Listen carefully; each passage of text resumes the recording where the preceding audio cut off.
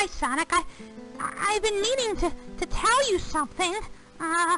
Shut up, you stupid bitch! Ah, yeah!